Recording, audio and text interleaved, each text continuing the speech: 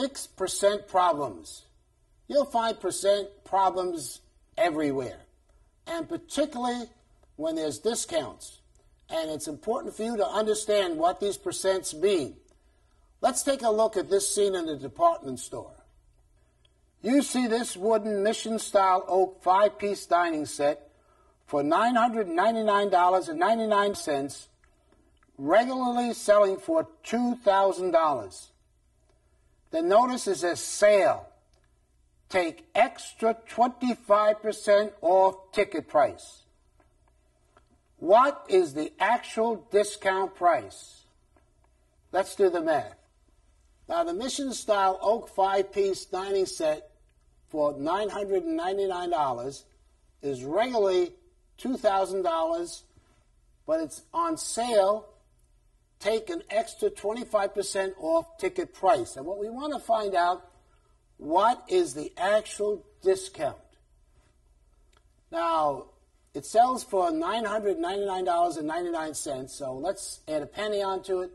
So we'll make this $1,000. So let's find the original discount. Now you probably can do that in your head.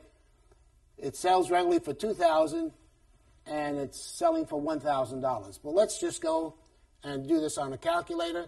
We want to find the original percentage. The part is 1,000 divided by the total, which is 2,000. That equals 0.5. And we'll make change that into percentage, and that will be 50%. Let's do it over here, 50%. Now it says here, take extra 25% off ticket price.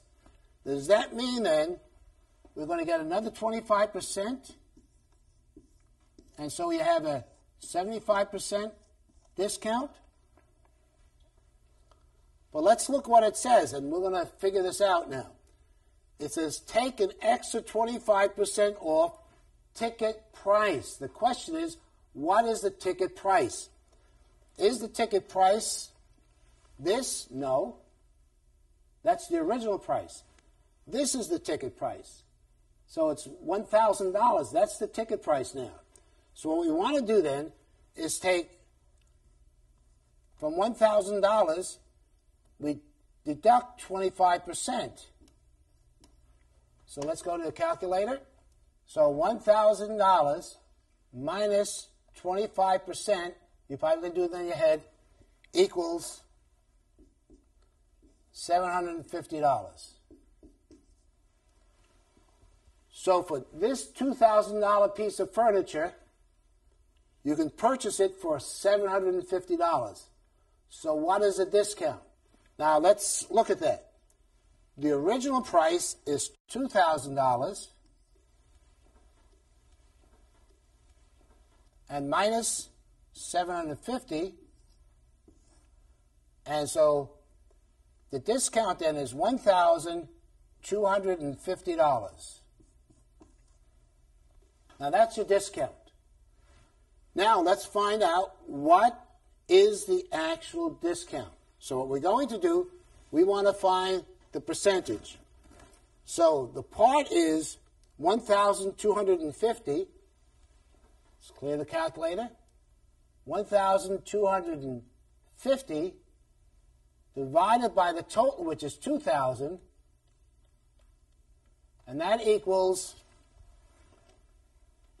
0.625, and to change that into percentage, we'll move the decimal point over two places, and it's 62.5%.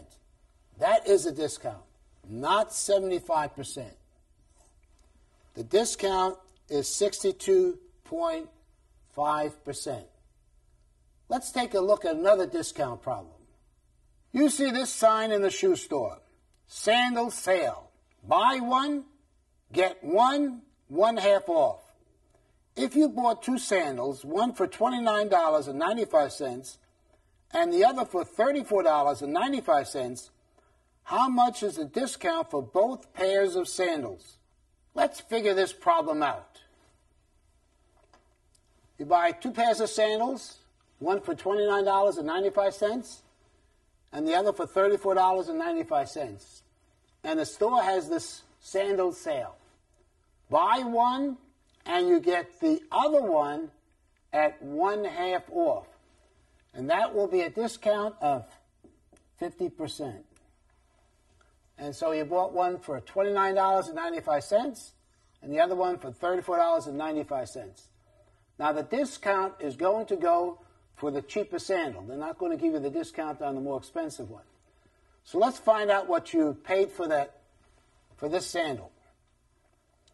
So $29.95 times 0.5 equals, and so you paid $14.98 for the sandal. And then let's add up the other one. You also paid $34, so we just plus $34 and 95 cents equals, so the total price came to, for both sandals, is $49.93. Now we want to figure out how much is a discount. What is really the discount? That's what the question. What is the total discount for both pairs of sandals? And so we want to find out how much money did you save to get the part. So we have to add both sandals together, the original price. So that's $29.95 plus $34.95 equals, so it's the list price is $64.90. Now, how much did you save? So you have to deduct minus $49.93 equals. So you saved